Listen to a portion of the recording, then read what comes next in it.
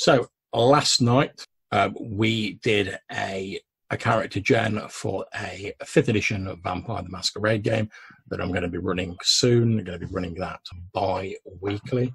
So, very much looking forward to that. And we did the, I suppose, the, the by now traditional sort of session zero idea where you get everyone together and you spend a whole session creating the characters, so creating a group of characters that everyone's going to be happy with, working out connections between them, stuff like that. The idea being that when you come to the actual first session, you don't have to spend any time on that. You've got it all done. Just jump straight into the game. Happy days, and off you go. Now, myself and Johannes have done character gen for fifth edition Vampire a number of times before, and it's. I think it'd be fair to say it's a, a sort of pretty involved process, Johannes. Yeah, uh, and that is particularly because, at least in in V5, it does encompass uh, a lot more than just figuring out a bunch of stats for your own character. Yeah, very much so. I mean, previous versions of the previous editions of Vampire the Masquerade, which we're, we're, we're both pretty au fait with, eventually you get down to like, you just go, right, I've got this many dots to bank on my sheet. Boom, boom, boom, boom, boom. Yeah, you, eventually. Yeah, eventually you're just like, okay, 753, and then what, yeah. 11 nine seven was it for the yeah for the, it might have been eleven nine five but it was something like yeah, that yeah uh, something like that and then like yeah toss oh, on your three dots your, of disciplines five dots of backgrounds boom yeah yeah and yeah and um what like 10 xp what was it 15 i forget yeah exactly like but it, like eventually it was literally just that it's just like fill out a lottery ticket and then like ah i'm i'm done but of course that's with uh, I, and I hesitate to even estimate this, but it's it's at least several decades of experience yeah, that, that, that, that's with a lot of experience, and I'm I'm sure. So going forward, if I run like more vampire games, I'd get quicker at doing the like the character gen sessions for this. But being unfamiliar with it, certainly from the point of view of like being the GM, I want to take a slightly more sort of leisurely wander through it, and also it's a a new group. Obviously, um, we had we had Ambrose and we had yourself, who I've gamed with before. We had a couple of new players, and obviously group dynamics can be very different when you get like groups of people. So it's also handy to sort of make it slightly more leisurely for that, so people have time to sort of digest and have time to think about their characters, as well as like get to chat with the other people because you're going to be playing like a coterie or a group of vampires ostensibly working together for some goal. Now, the one of the things I like about V5 is the character gen. Although you are genning your character, a lot of the a lot of the things you select sort of lead on to you having various NPCs or sort of people associated with your character. So when you're picking your backgrounds, um, you pick your predator type, which is how to feed. That might give you certain backgrounds like enemies or allies or contacts all of which the game encourages you to sort of build a relationship map showing those people a link to the character. Now, we did this on sort of like a fairly simple Roll20 map, just like dropping icons on there and drawing lines to like link them up. But I really like the fact that effectively it allows you to generate enough sort of stuff at the start of the game that you have uh, almost like a, a very deep, very detailed sort of like cast of characters, and I don't mean just literally like the player character, but the non-player characters as well. When you go into the game, so a lot of games it sometimes feels like you make the player character, then they sort of wander out onto a, a fairly blank stage, like maybe a bit of scenery, mm-hmm. to use like a theatre metaphor, and then the GM's sort of in the wings, like quickly trying to like get, get some like bit players like and some like background artists like ready and costumed and like get them out on the stage and mm-hmm. just like, see what works and we'll take it from there Whereas with this game, having sort of been through the generation process, it feels like I've already got a lot of stuff that I can pull on to get that first session developed.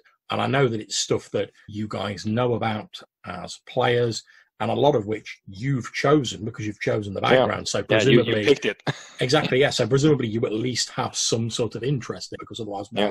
I mean, yeah.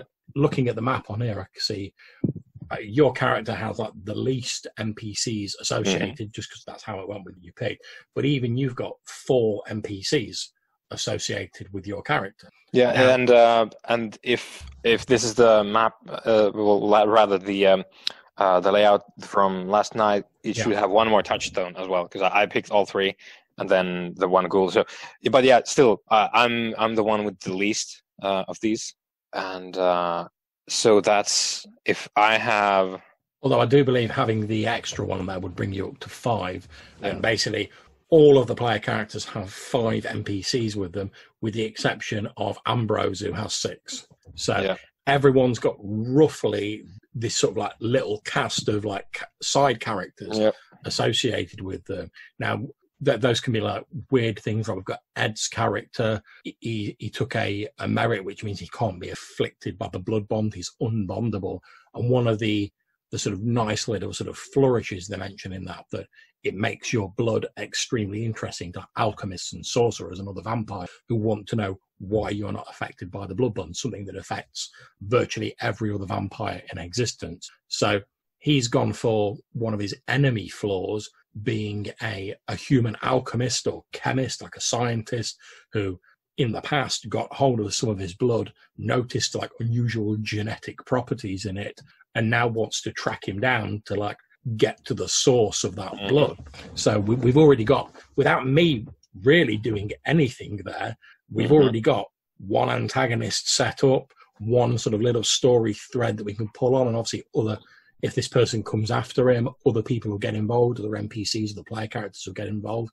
And that's without me having to just sit down at the start like a blank piece of paper and like, right, I need some NPCs for this vampire. Yeah, and and, and I need a, a story which is already built into Ed's character. There's a storyline there that we can explore without any of your input.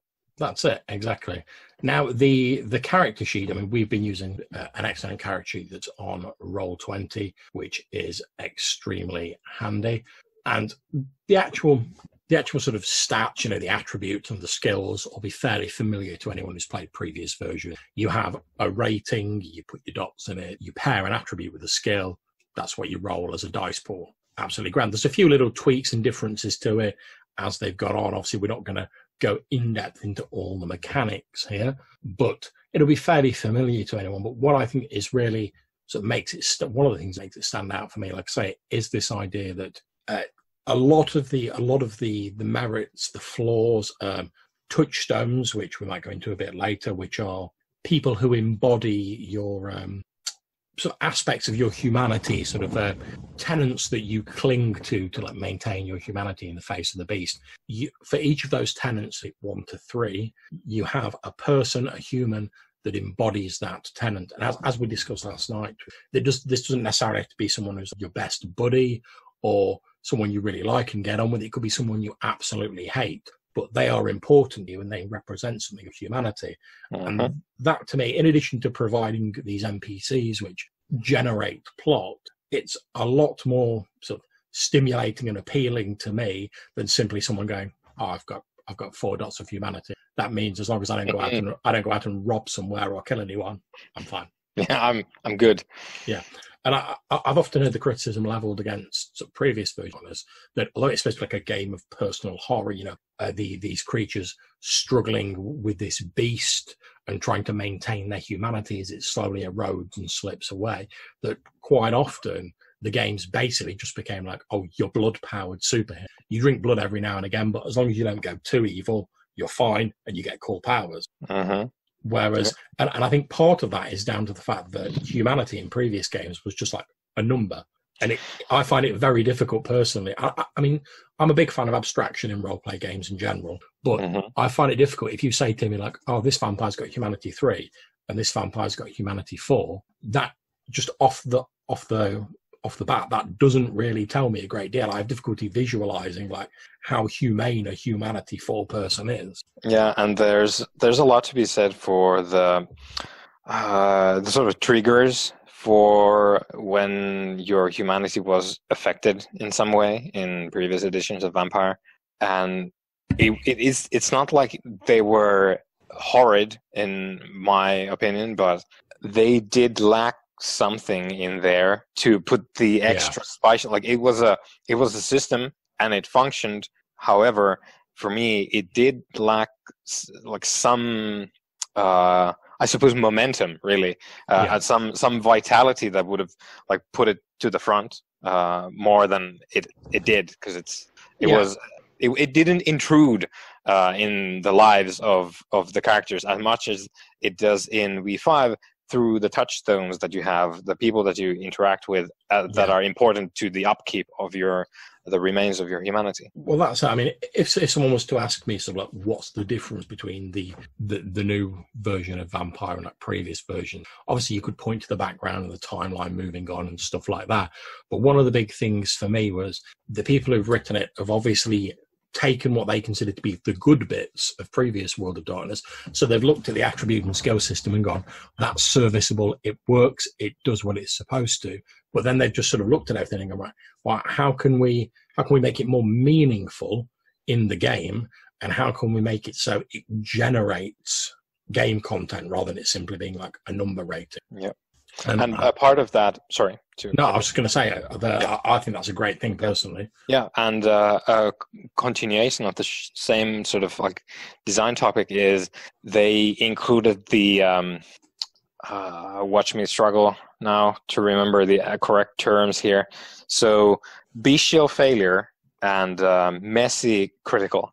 So both of those, yeah, the hints in the name, uh, either you succeeded uh, really well, which is the messy critical, or you failed really bad, which is the bestial failure. And then as an additional sort of defining thing in both of those is your vampiric nature gets the the better of you. Like the yeah. the person in you is less in that action than the um, the actual like cannibal serial killer monster that you are now.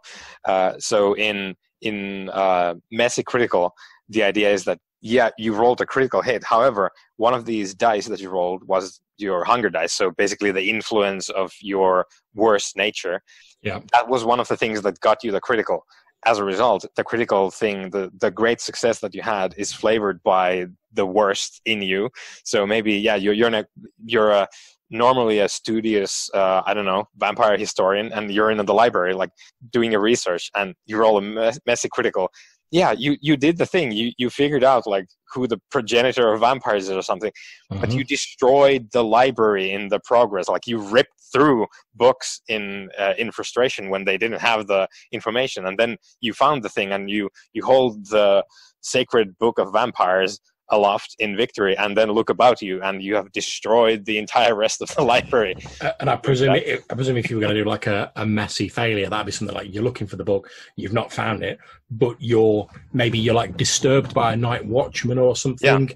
like flashes a torch at you and you just like lose your yeah shit. and that person is going to be in seven different locations by the end of the night yeah, uh, um, yeah. i was going to say perhaps we should um, we should discuss yep. like the hunger dice a bit because the yep. the sort of the blood mechanics are a, a, little different. Now, in previous versions, you had a blood pool, which was a pool of points representing how much blood you got. I believe it was ten normally. Yeah. And then when you spent blood on your disciplines, etc., your blood pool ticked down. When you had to make some like frenzy checks when you were exposed to certain stimuli, you got sort of like penalties. I believe like you could only roll a maximum number of dice equal to your blood pool. So the less blood you had in you, the more difficult resist frenzy. Now, in the new game, you, you don't have a blood pool. You have a hunger rating, which I believe starts at one. And um, yeah, I think it's I think it's uh I don't recall the actual thing, but I've seen people uh, like roll randomly during first session, like being like, like let's roll uh, a d10 divided by two and that's how much hunger you have as yeah. a like the starting point which is is random but we could also start with just one. Yeah. And basically the more the more rating you have in hunger obviously represents the fact that you're hungrier. Now i don't believe you can ever re- normally if you're just like feeding off people and you're being a bit careful you can't reduce this below one representing the fact that you're always slightly hungry you're a vampire yep. the only way to reduce it to zero is to literally like drain someone dry and kill yeah. them yeah murder yeah mm-hmm. which sort of leans you towards like the darker side of being a vampire like if you ever want to completely like silence that nagging hunger someone's going to die for it, Yep. which I like because it's it's not as abstract as like oh I've just got like a pool of dice and uh, sorry a pool of p- blood points and you often sort of think like oh well how many blood points does like a gorilla have? How many um, how many blood points does this have? How many blood points does that have? Whereas in this it seems more like the hunger is like a, a sort of driving force rather than it just being like a pool of blood that slowly ticks away. It's something that's like building up and slowly consuming you. Yeah. Yep. If One of the uh, Go sorry, ahead. you go. No, I was just going to say that the comparison that I've heard a lot uh, between the blood pool and hunger yeah is blood pool is basically a gas tank that you fill up when when you need to, and then uh, hunger is uh, I don't remember the metaphors for it, but basically not that. So uh, whereas the blood pool you could sort of like set on the side because it it, it, it wasn't really a, a thing. Uh, it didn't intrude again uh, upon you if let's say you are a five out of ten blood pool. It didn't intrude upon you at all. However, Yeah, it, it just felt like an abstract pool of like power points effectively yeah, which is again like I like I've hinted at before. We've played like twenty years of Vampire, or we've been involved with this this game, so it's not like we don't like this. the the blood pool thing but this is a different deal. So if you're a 5 out of 10 blood pool yeah maybe you're looking at it being like mm, i can't really can't really like go and bust out the moves if if i need to uh, that much anyway before i need to fill up. Whereas in v5 if you're at three hunger you're starting to look at your pool being oh well so if i'm trying to do this thing i have five dice three of which are hunger dice i might flip the fuck out and and do something that i didn't intend to because i'm yeah i'm hungry and i can't control myself And just, just to explain to anyone listening and may not be familiar with it, the way hunger dice work is when you're creating your dice pool for like, your attribute plus your skill for whatever role, your hunger rating, a number of dice equal to your hunger rating are hunger dice. So the game recommends that you represent those as like a different colored dice. Hmm. Obviously, they recommend red because it's a vampire game and it's all about that blood, yo. Blood. And the the idea is as we were saying earlier if you if you get like most of your successes on your hunger dice it's this messy success. However if you if you fail you can potentially get these messy criticals and now does the does the um, the messy failures does that involve when you you get successes on your hunger dice but you still fail how does that work Yeah, sorry, my uh, my computer was uh, freezing up there for a minute. So um, the um, the messy critical requires that you roll a critical, which is uh, at least two tens uh, on your on your roll, and one of those tens has to be on your uh, hunger dice. Yeah. and um, oh. I will have to. Well, yeah. So the bestial failure, I think, I have so many versions of Vampire up in my head that it's kind of So Uh, getting- okay. Yeah. so. The bestial failure, as far as I remember it uh, right now, off the top of my head, is uh, you don't succeed in your roll, and you rolled at least one one on your hunger dice. I will have to check that, or rather, John will check that. Yeah, here we go. Bestial failure, page 207. Here we go. So, yeah, as you were saying, messy critical, a critical win in which one or more 10 is on the hunger dice.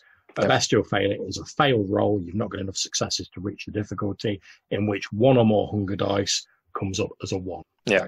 That means your beast, according to the book, that means your beast is manifested inopportunely or excessively, or your character's failure has angered your beast and you, you may be forced to act out compulsions, uh, various things like that. But basically, your beast has got the better of you as part, or perhaps because of this failure. And again, what we say, the, the old mechanics perfectly serviceable. Yeah, you could play it as blood pooled, bullet fooled superheroes, but you you could still put flavor on top of it and role play it, and it it was serviceable. It Yeah. worked perfectly fine. Yeah, which is what we've been doing for Yeah, exactly. yeah. twenty years now. But to, to, to me, it seems like the, the mechanics in the new game, they specifically mechanically support the, the idea that it's supposed to be a horror game. It's Yeah. supposed to be it's supposed to be a game of these immortal and very powerful creatures, but each time they tap into that power, each time they use those abilities, they're they're risking this sort of darker side of them, this blood fueled monster that one day become, running away with them and sliding them one step closer to this sort of abyss of just this never ending nightmare of blood and death that yeah. a vampire if they, if, if they ever completely sort of like lose themselves they can become what's known as a wight, and they are literally just a beast that lives to kill and eat. There is nothing of their human side left. Yep. And uh, the the really exciting thing for me is that you yeah okay so you use your fancy vampire moves your vampire abilities. That's how you become more hungry. Of course you become more hungry as time goes on as well. But after you've done that after you did the great vampire thing with your vampire powers you're now hungrier and everything you do now is overshadowed by the fact that you're hungry you, you you want to eat and you you don't want to do the thing that you're trying to do which yeah. is like researching the originator of vampires or whatever the shit you're trying to do or you're trying to convince your human friend to drive you to the blood bank so you can like get in the back and get get that sweet sweet plasma uh, and you roll your thing you're really hungry when you're trying to convince your human friend and you you roll a bestial failure and you rip their head off. And that that's not what you intended to do but they they took more convincing that your hungry angry vampire nature was willing to deal with and they became a, a nuisance. And you dealt with it. And now you get to deal with uh, damage to your uh, humanity and also a body yeah exactly and like I say as as we've said previously I know we're both fans of games where the mechanics specifically support and enable the type of play that the game is trying to represent. So I know we've talked about previously, we talked about Powered by the Apocalypse doing that sort of thing, mm-hmm. but and I feel that the sort of V5 is very much going the same way. And I think all credit to the people who've designed it. They've obviously looked at it and gone like, it's not as though the previous systems were like completely beyond redemption or didn't work in some way, uh-huh. but they were like, right, well, it, it works. It's, it's all right. It's functional, uh-huh. but you have to sort of put a lot on top to make it the sort of game that it's yep. supposed to be. Whereas they're saying, oh, we can do more from a sort of game design point of view to to sort of point you towards that style of game. Yeah, and like let's take uh, V20 because it's it's the I suppose the amalgamated monolith of previous editions of Vampire. It's an ex, expansive toolbox for Vampire games, whereas V5 uh, there's there's a lot in V5 which ties into what I'm about to say. V5 is a very sharply focused game about young vampires trying to somehow deal with their existence in a modern world that is extremely dangerous to vampires. And that's that's a very different deal from being handed all of vampire from across the history of vampire and being told you can do anything that's in this book. Yeah yeah most definitely. Um, like you say the, the, this game in particular and how they've sort of how they've advanced the setting has sort of done a lot to reinforce that because just to give a very sort of brief rundown of some of the events that have changed in the setting. Effectively, a lot of old ass powerful vampires have started waking up in the Middle East. All of the sect, pretty much known as the Sabbat, were like, oh, the elder vampires are arising. That's our deal. Let's go and give them like six of Cain's best and like diablerize them. So they've so most of them have gone to the east. In return, these massively powerful vampires have used like the powers of their blood to go, oh, right, I'm going to need some reinforcements. So they call on all their sort of older children with this beckoning that draws them to the east. So in one foul swoop, you've you've got rid of the Sabbat as a massive sort of monolithic sect, and you've also skimmed all the really old vampires off the top of like the Camarilla and the Anarch. So as younger vampires, you now have a lot more sort of room to play in. It's not a case of going like, oh, okay, I'm a younger vampire, so maybe if I sort of knuckle down and I, I like work for the man for like 500 years, maybe I'll get a few scraps off the prince's table. It's a case of like, oh well, the, if there is a prince still, which isn't a certainty. I mean, there might not be. Yeah, there, there isn't certainly isn't in our game. Then they're going to be a lot younger, a lot less entrenched. The power base isn't going to be so extensive, so you can make more of a mark as a younger vampire. And by the same token, I'm a I'm a massive fan of the the Sabbat as a sect in the game, but to my mind, this background is like return them to what they were in second edition, where they were like the kindred sort of like bogeymen, you know. Yeah, boogeyman. Yeah, people yeah. talked about the Sabbat in like hushed whispers, or you know, they're the monsters who've like seen too much. You know, you don't want to go down that dark path. Whereas they, they became sort of a bit less as they were more explained because they weren't as scary. Whereas now, because most of them have disappeared off, any Sabbat that have gone to the east and come back, it means they're like double hard and double vicious because they've survived. Yeah, or or it might literally be a five thousand year old dude wearing like Joe Boy Billy Bob's skin, which is that's not better. yeah, so it's like it's returned them to these these shadowy sort of bogeymen who are like lurking in the darkness and sort of they're they're the monsters that the monsters fear effectively so yeah. I, I, love the fact that the background's emphasizing that but also again it's tied back into giving player characters more room to maneuver with their character so yeah of course if, if you go out in the street and you start like getting your vampire on in like full view of everybody yeah the the second inquisition's going to be knocking at your door or the vampires are going to be trying to put the smack down on you of mm-hmm. course that that's still going to happen but it's not a case of you're going to you're going to make some minor trespass and you're going to have like the scourge like kicking down the door of your haven and like coming for you and dragging you up in front of like a Camarilla tribunal, as yeah. could sometimes happen like in older days. Yeah, and of course that varies by city, obviously, as as everything does in Vampire. But you, you could definitely have these as we are playing in the this sort of like modern London, where it, it's it's basically the apocalypse or the, the post apocalypse for the vampires, yeah. where where the um, uh, British version of the Second Inquisition just, just like decapitated the the whole vampire society in London. Yeah. So for for anyone who doesn't know, we are using the Fall of London campaign book. Now, this is like a pre-written campaign, but which we're not actually using. But it also it, it basically chronicles the the rise of what's known as Operation Antigen UK, which is the, the the the public face of the Second Inquisition. It's groups of people who have worked like with influence, who have worked out vampires exist, and very quietly they go around setting their people in place, getting ready for it. Then, once most of the vampires have left and gone to the east, and there's only a few left, they make their move and disguising it as like terrorist attacks, sort of domestic violence, stuff like that. They effectively, as Johanna said, like chop the head off Kindred Society, certainly in London in this campaign. And that obviously throws Kindred Society into complete disarray. Effectively, at the end of the campaign, you're in this like vampire post-apocalypse, as Johannes was saying, and that's where we're running our game. So the the Camarilla is effectively no longer a thing in London mm-hmm. because there's not enough vampires to maintain it.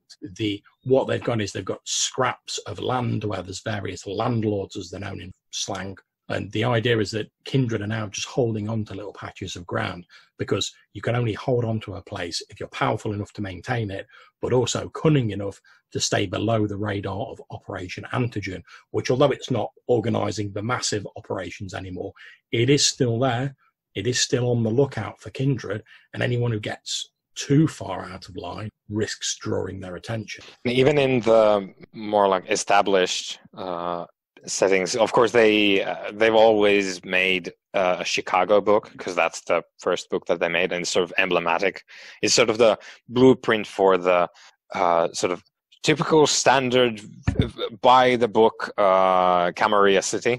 Yeah, like um, you say, it's like it's like the iconic city for like yeah, Darkness, it's, it's, it? Yeah, it's the it's the one that you would buy off the shelf in a in a supermarket. Uh, yeah. as far as vampire cities go, a very very very sort of uh, it, it's it's yeah it's the archetype of of uh, like a Camarilla city, and um, even in in that the newest version very much puts a a fresh coat of paint on it because there's newer folks even even though because it's it's the it, it, Chicago has a lot of history uh, yeah. with, in Vampire, so they do have some of the the old uh, vampires that were put in Chicago. They do have some of that still around, but still, like most of the uh, population, fairly young as far as the positions of authority and influence go. So again, uh, even with the sort of emblematic Camarilla power structure city like Chicago, uh, the the stronghold of modern Camarilla, yeah, is it's it's still being run by fairly young folks, and even if you have some of the like incredibly old people around, they're sort of like sitting back and being like, "Oh, what's this new new world that I've woken up into. I will yeah. I will see how the children play uh, yeah. instead of being uh, like I am the overlord now and you will bow to me. Yeah, and to to, to come back to the the sort of session zero that we did the other night, we spent about three or four hours just sort of like very meticulously going through the the sort of character gen summary step by step. And now, obviously, I know that four hours that seems like a long time. It's like an entire session uh-huh. devoted to character gen. And if you're talking about sort of older vampire, I'd be like, yeah, I need what maybe half an hour yep. to gen a character, if that. But as myself and Johannes were saying, that's with umpteen decades of experience doing yeah. that. And also, the result at the end of it would just be I have my character that is all. Yeah. Whereas we, with varying degrees of people with familiarity with the game, and we've got a couple of people who've not played it at all. I've played it a bit. Johannes has played it a bit more than me. Uh-huh. Like I say, a couple of people not not done it at all. So we went through it quite slowly, quite sort of methodically, trying to make sure everyone understood everything. And that that's just the way I prefer to go. I'd rather spend I'd rather have spent eight hours doing it if everyone understood it rather than going to the first session have people be like, oh, I'm not really sure what's going on. I don't know how I can get involved. Uh-huh. But the result at the end of those four hours wasn't just, oh, we've got four player characters, Jen. The result at the end was like, right, we've got your haven detailed out, the location that your coterie controls detailed out. We've got this whole, like, sort of 20 plus supporting cast of NPCs uh-huh. detailed out. We know all your backgrounds. We know what sort of coterie you are. We know that your your coterie is trying to maintain the masquerade and like stop any vampiric excess in your area of control. And we pretty much had the plot for the first session yeah. ready ready to go. Yeah. I, yeah, I literally got. And the the plot we, we decided to go for because obviously I discussed this with the player characters because I want the the first session to be like a sort of gentle lead in so we can all get used to throwing a few of the dice pools, making a few checks, making rouse checks, you working out how hunger works, stuff like that. Both for myself as a GM, because I've not run it before, and also for the players, so we're all sort of getting used to it together.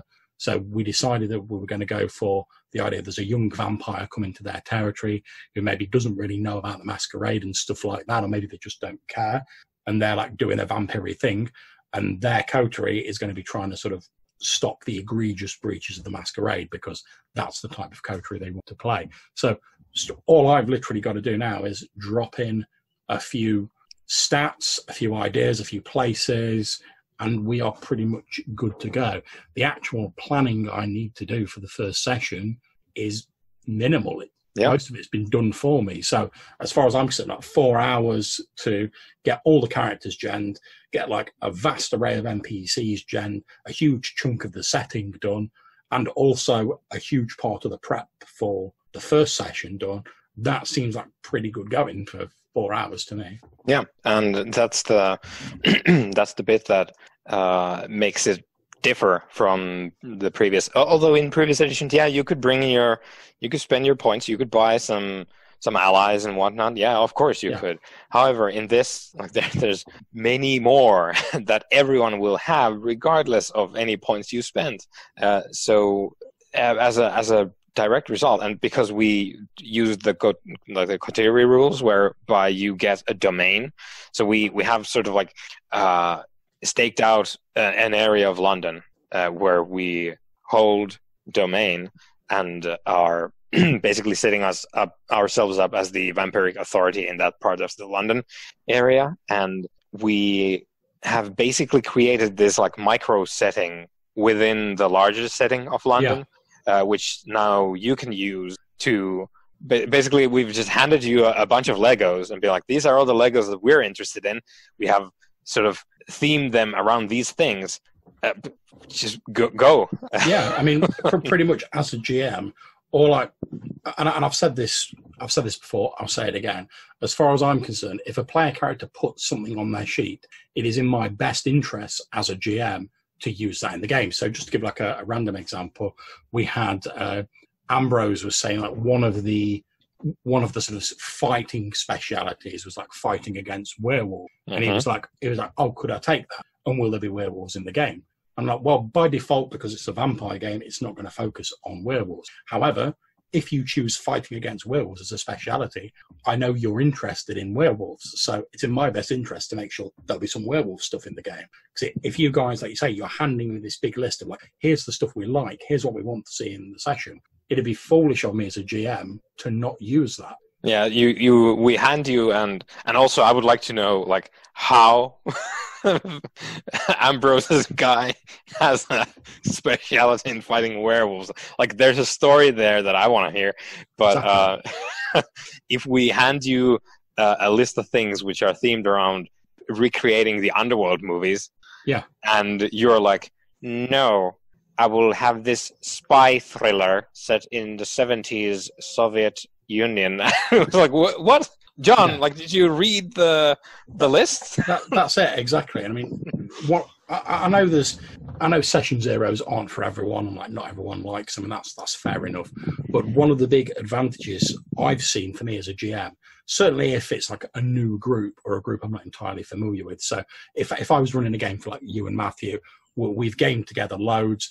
I can reasonably intuit the stuff you're probably going to be interested in. But certainly for a new group, the session zero for me, as well as creating all this great stuff which I can use, it gives me time to sort of like work out how the group's relating to each other, mm-hmm. what sort of things they like in the game. Obviously, we were chatting as we were doing it. You get a feel for like what sort of bits people are interested in. So, and it, it's all about playing to your audience basically, because yeah. obviously I want to make sure as a GM I have a good time running it, so there'll be things in there that I like. But I also want to make sure that all the players have fun playing it. So why would I not put in the stuff that they're interested in? Yeah. It's like if if you'd like say if you'd all gone like, oh yeah, we, we want the game to be set in Russia and we're all playing like Soviet era spies, I could have been like, yeah, that, that's fine. I'll, I'll, run with that. That's not a problem. Mm-hmm. But because we've not got any of that stuff in here, I'm like, right, okay, that's obviously not meant to be the focus of this game. That's absolutely fine. Yep.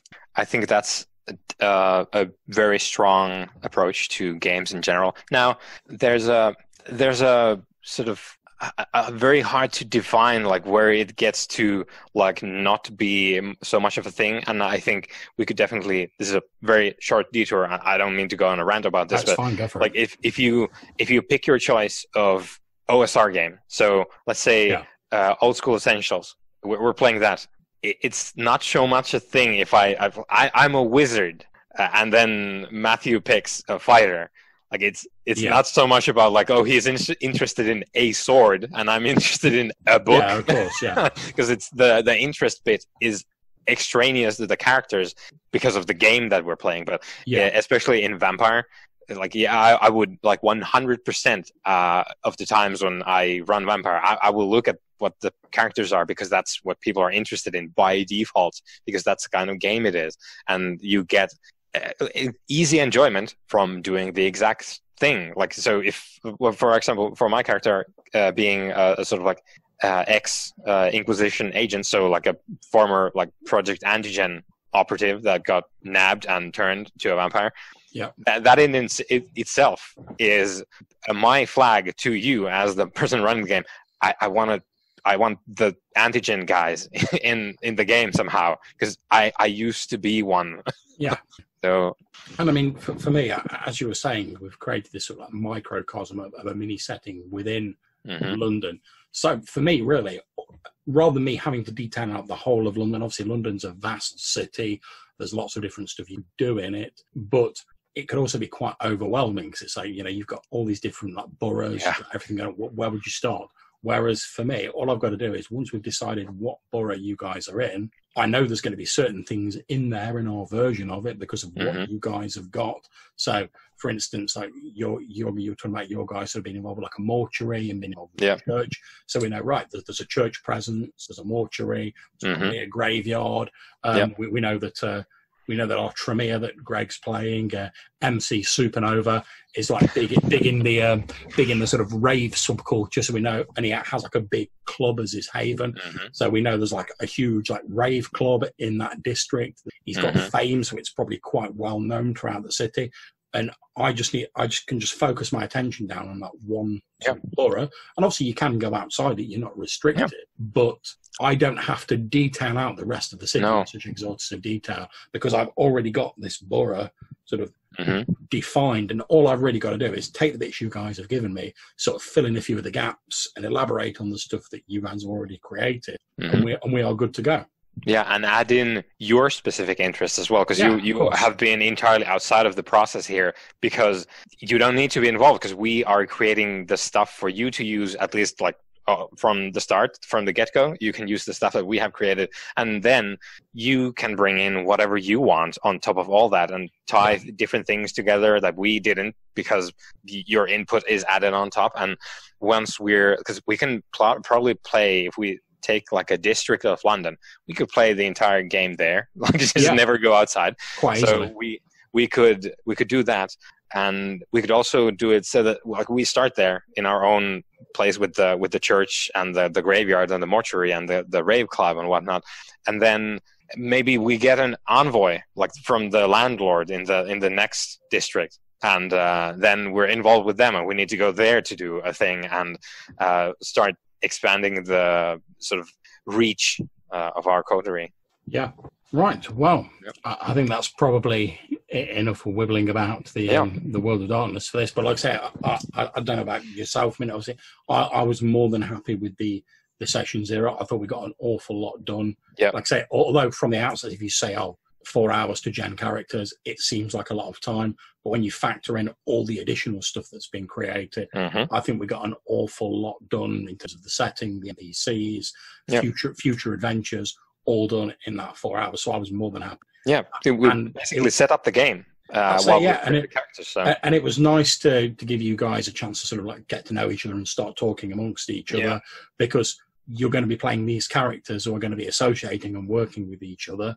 yeah. So you also need to make sure that like the, the player group is capable Mhm. of playing those characters working together, which seems like is certainly going to be the case from the group we have. Mhm. But if Yeah. there had been any obvious sort of friction or problems, there's more likelihood of me noticing beforehand and being able to do something about it, Yeah. whatever that might be, than if we just jump straight into a game and then like three sessions in, we're like, oh, this group's not really gelling, it's not really like working together. So I Mhm. think I think it's definitely a worthwhile investment, certainly with a game like this that can deal with some pretty sort of like heavy emotional themes. It's definitely worth doing a session zero. Yeah, and we had some talk about that, like uh, like topics to include. Like we we did talk some uh, about some of that because one of the players brought up like, hey, so I have this thing that's related to my characters. Like, is it okay to bring this kind of thing up in game? Uh, which is also like, yeah, of course, in, in, especially in a in a game like Vampire, where ostensibly like you're you're all playing murderers, like serial murdering cannibals, is what you're playing. Like, yeah, let's not kid ourselves that's what we're doing so it can get intense Yeah. at times and you're probably involved in a lot like a vast array of very bad things aside from that as well Yeah, I mean, obviously, because we're we're going to be sort of streaming and recording the game, it, I think it was a very wise thing of uh, the player who brought it up to say like, oh, because I know it's going to be streaming, it's going to be available to the public. Mhm. Like, how far can we go with these things? And I was able to say, well, my preference is if something starts getting a bit too dark, we can easily fade to black and then like cut in a short while later. And I, I use the example of a scene with someone being tortured. You don't need to Mhm. play out every last detail of the torture. You you sort of do the lead up enough to get a flavour of what's about to happen. Then you can zoom out a little bit, make those dice rolls, and cut Mhm. back in as the guy's like, okay, okay, I'll tell you what you want to know. Mhm. And no one needs to be made like uncomfortable because of that, but you've still got the sort of the broad strokes of what's Yeah. going on. People still know that like, yeah, this has happened. It's morally repugnant. It's horribly Mhm. unpleasant. It's caused physical harm to someone, and you've potentially lost a bit of yourself while doing that. But w- we don't need to make the players feel uncomfortable by sort Yeah. of going into excruciating detail about it. Yeah, we don't need to wallow in it if that's Yeah. not the thing that we want to do. So, Well, that's it. I mean, obviously, it's a horror game, so Mhm. w- we're not trying to sort of sugarcoat the fact that, like you say, vampires are murderous, blood drinking cannibals at the end of the day. Let's Mhm. not beat around the bush. They are. That's, that's just a fact. that's exactly what they are. Yeah. So we're not trying to sort of shy away from that.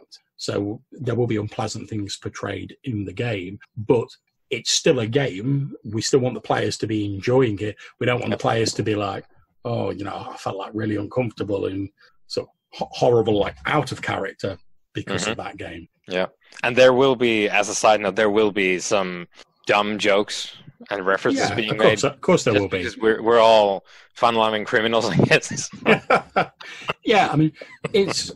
I, I think it's a natural thing to sort of when you're playing a game, especially like a more a more in-depth sort of emotional game, for Mhm. argument's sake, like Vampire, to want to break that tension every now and again by cracking a joke or Yeah. or by making like a an underworld reference or whatever. Because we've all seen loads of vampire films, we all know how it goes. yeah, That, yeah, That's just a natural thing, and I think as a GM, rather than trying to sort of fight against it, like, well, you're not taking this game 100% seriously. Just, just like let people have fun. Remember, it's a game. Just like go with it. You, you can still build up tension. You can still build up an atmosphere, but you have to sort of keep in your mind that it, it is a game. And I, I always hate it when people say, like, "Oh, role playing is just a game," because I'm like, "It- it's a game, but that, that doesn't that doesn't lessen the worth of it. yeah. It's it's that that's like. So what are you comparing it to then? Like what? Because it's it's less than something because it's just quote unquote Yeah. and game. it's like it's like you, you can say you can say that about anything. You could um, you you could pick up a, an important like holy text and say it's just a book, just Yeah. pages, just words, Yeah. but it means something beyond that to people. And I think even if you're not, I'm not talking about using like RPGs for like teaching purposes or stuff like that. Although you can do that, but even if it's just just in inverted commas a game which you're just doing to have fun for entertainment that that doesn't make it any less important or sort of lessen the impact of it because of that. Yeah. yeah, I mean, just as a very quick like um, uh, ending ending point to this is like, okay, so you have different kinds of games in in the world. Yeah. just look at how much people invest in football, and b- for Americans, I mean soccer. So that it gets intense. like Yeah. people invest in sports a lot. That- And that's it. And I mean, Playing it, it's I mean, as a fan. I mean, like soccer or like football isn't really my bag, but I would never say, oh, well, it's just a game. It's just people like kicking a ball about because obviously that's not what it is. That's yeah, not to them. for It the, pe- for the people who are involved in it. yeah. It- it's something much more. And I think exactly the same is true of all. Yeah. So like, Right. if you like something, that's cool, and you Yeah. shouldn't feel bad about that. yeah, you shouldn't feel bad about it. Just just own it. It's a game. It's something you, or whatever. It's an Yeah. activity you enjoy. So it therefore has meaning for you and whoever you're playing it with. And that's that's the important part. Exactly. So I think that's probably enough for now. Thank you Yep. very much for joining me, Johannes, and we will wrap up there. We hope you've enjoyed that episode. If you want to get in touch with us, you can drop us an email. The address is rddrpgpodcast at gmail.com. Or if you want to leave us a voicemail message, you can head over to our page on speakpipe.com and that will allow you to leave a 90 second voicemail and you might even be featured in a future show. There's a link to this included in the show notes, as well as a link to our website and other places where you can contact us.